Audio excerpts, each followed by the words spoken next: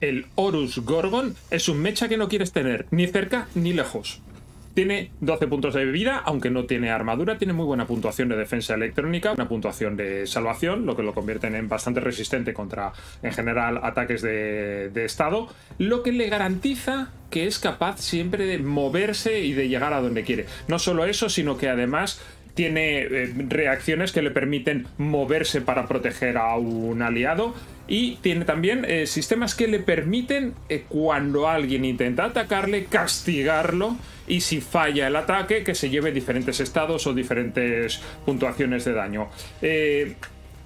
su poder de núcleo hace que eh, no puedas mirar en su dirección, que te quedes tonto si miras en, tu, en su dirección, tanto si eres humano como si eres una persona electrónica o un sistema. Y todos sus sistemas básicamente le dan reacciones adicionales, eh, poder de control adicional y en general, si quieres jugar fuera de tu turno, no en tu turno, utiliza el Horus Gorgon. Esto ha sido Lancer en un minuto.